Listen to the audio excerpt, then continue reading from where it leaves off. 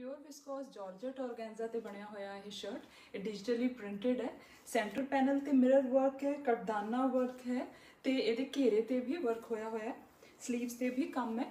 Mirror work ਦਾ ਕੰਮ ਬਹੁਤ decent ਕੰਮ ਕੀਤਾ ਹੋਇਆ ਹੈ ਇਹਦੇ ਉੱਤੇ ਇਹਦੇ ਨਾਲ ਜਿਹੜਾ ਦੁਪੱਟਾ ਹੈ ਉਹ ਵੀ ਪਿਓਰ ਵਿਸਕੋਸ ਜਾਰਜਟ ਔਰਗੈਂਜ਼ਾ ਦੇ ਵਿੱਚ ਹੈ। ਇਹ ਵੀ ਡਿਜੀਟਲੀ ਪ੍ਰਿੰਟਡ ਹੈ ਦੁਪੱਟਾ। ਫਿਰ ਉਹਦੇ ਉੱਤੇ ਵਰਕ ਕੀਤਾ ਹੋਇਆ ਪੂਰਾ ਫੁੱਲ ਲੈਂਥ ਦੁਪੱਟਾ ਆਏਗਾ। ਦੁਪੱਟੇ ਦੇ ਫੋਰ ਸਾਈਡਸ ਤੇ ਐਮਬ੍ਰੋਇਡਰੀ ਹੈ ਤੇ ਵਿੱਚ ਵੀ ਸਪਰੇ ਆਫ ਮਿਰਰਸ ਹੈ।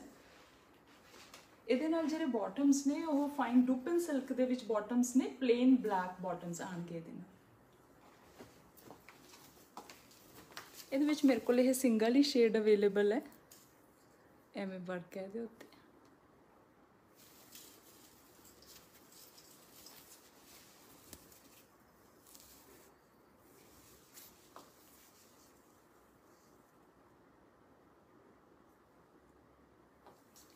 ਇਹਦੀਆਂ 슬ੀਵਸ ਤੇ ਵਰਕ ਹੈ।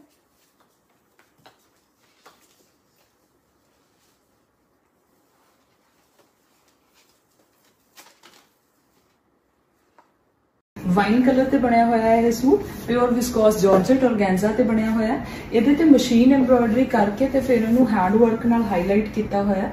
ਦੁਪੱਟਾ ਜੋ ਇਹਦੇ ਨਾਲ ਇਹ ਵੀ ਪਿਓਰ ਵਿਸਕੋਸ ਜਾਰਜਟ ਔਰਗੈਂਜ਼ਾ ਦੇ ਵਿੱਚ ਹੀ ਹੈ।